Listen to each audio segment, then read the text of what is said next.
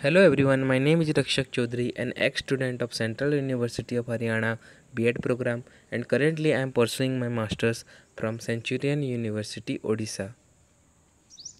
Today we are going to discuss about action research. It is a process in which participants examines their own educational practice systematically and carefully using the techniques of research.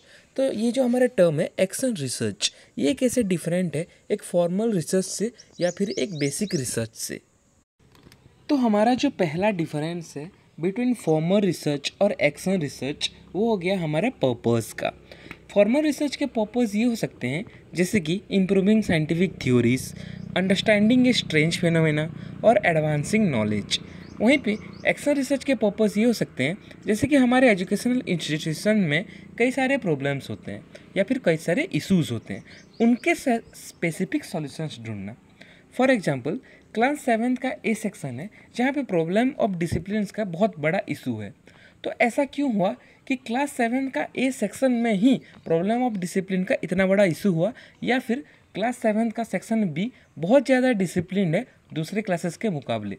तो इन सब का findings हम कर सकते हैं with the help of action research next is researcher formal research के जो researcher होंगे, वो उन्हीं स्पेसिफिक फ़ील्ड के कोई एक्सपर्ट होंगे और एक्शन रिसर्च में जो रिसर्चर होंगे, वो क्लासरूम के टीचर हो सकते हैं या फिर कोई एजुकेशनल सेटिंग के कोई academic head next is formal the scope of formal research is wider and the scope of action research is narrow result evolution result evolution का भी जो तरीका होगा, वो दोनों के बीच अलग अलग होगा, क्योंकि फॉर्मल रिसर्च से जो नॉलेज प्रोड्यूस होगा, वो जनरलाइज होगा।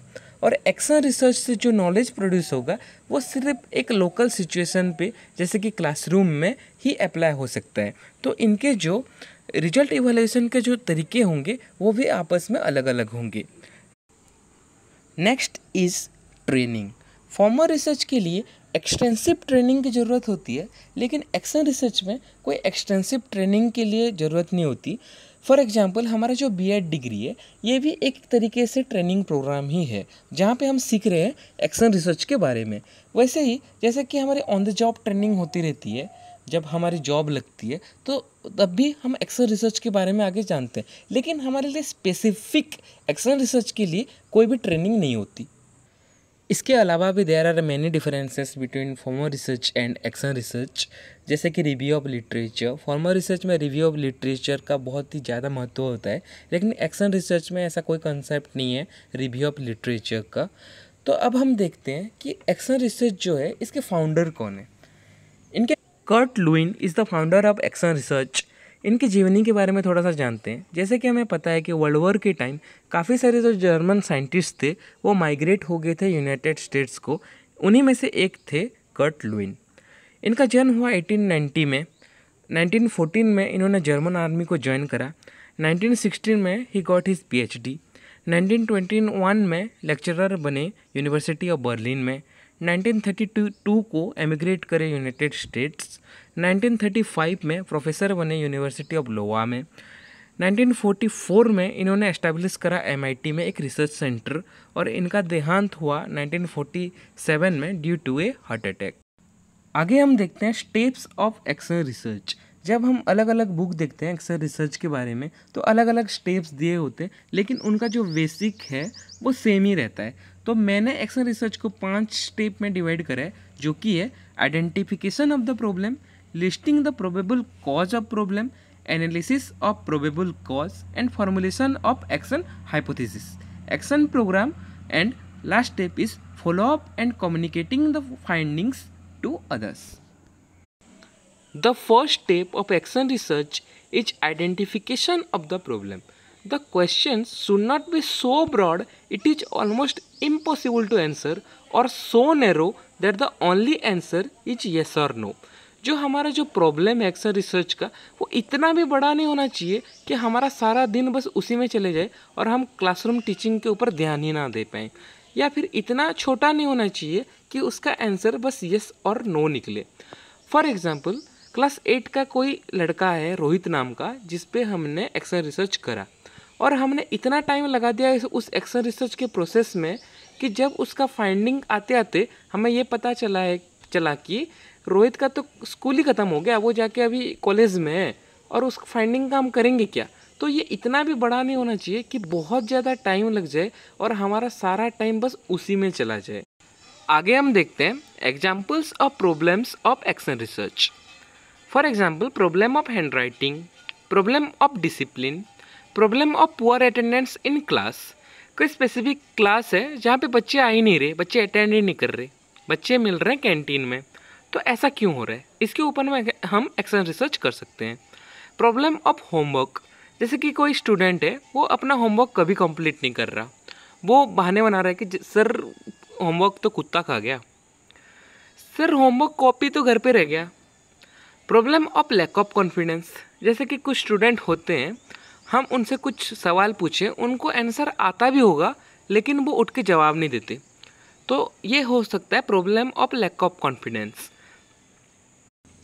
the second step of action research is listing the probable causes of the problem in this step the researcher list the probable causes of the problem from the most relevant causes the most probable situation are selected तो इस step में क्या होगा? जो action researcher होगा, वो list करेगा probable causes of the problem का। जैसे कि कोई प्रॉब्लम है, जैसे कि प्रॉब्लम ऑफ़ होमवर्क तो यहाँ पे एक्शन रिसर्चर लिस्ट करेगा कि प्रोबेबल कॉजेस क्या हो सकते हैं इस इशू का। फॉर एग्ज़ाम्पल प्रोबेबल होमवर्क का क्या हो सकता है? जैसे कि कोई बच्चों का इंटरेस्ट नहीं है होमवर्क करने का। दूसरा क्या हो सकता है कि बच्चों को बहुत ही ज़्यादा होमवर्क मिल रहा है अलग अलग सब्जेक्ट्स के। कि वो चाहकर भी उसको कंप्लीट नहीं कर पा रहे। तो इसी तरह से जो रिसर्चर होगा, वो लिस्ट करेगा probable causes next step is formulation of action hypothesis तो इस स्टेप में क्या होगा? जो एक्शन रिसर्चर होंगे, वो अलग अलग हाइपोथेसिस बनाएँगे, जो कि उस प्रॉब्लम को इराडिकेट कर सकते हैं। लेकिन इनके लिए उनको चाहिए होगा डेटा तो कलेक्टिंग डेटा तो ये डेटा उनको कहाँ से मिल सकता है? स्टूडेंट के बारे में। फॉर एग्ज़ाम्पल स्टूडेंट के ग्रेड रिपोर्ट से स्टूडेंट पोर्टफोलियो से, या फिर क्वेश्चनियर से। जो टीचर होंगे या फिर जो एक्शन रिसर्चर होंगे, वो क्या कर सकते हैं? वो क्वेश्चनियर बांट सकते हैं बच्चों में, जो कि बच्चे फिलअप करके उनको दोबारा प्रोवाइड करेंगे, जहाँ पे उनको कई सारा जो रिलेवेंट डेटा है, वो मिल सकता है।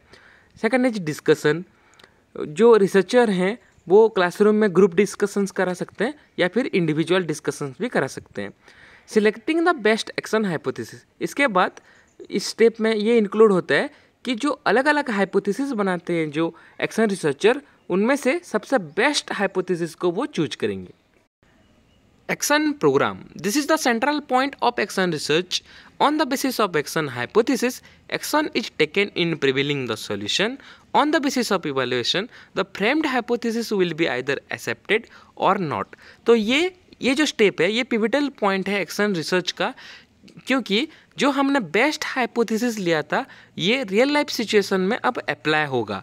और यहाँ पे on the basis of evaluation हमें ये पता चलेगा कि वो सक्सेसफुल हुआ, वो हाइपोथेसिस या फिर नहीं।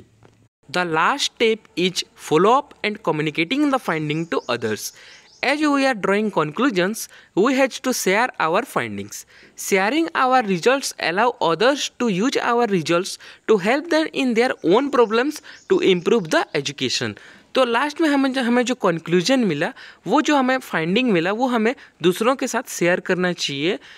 तो हम कैसे शेयर कर सकते हैं? हम कॉन्फ्रेंसेस करा सकते हैं, हम सेमिनार्स करा सकते हैं, हम जर्नल्स बना सकते हैं, ताकि दूसरे भी इससे बेनिफिटेड हों।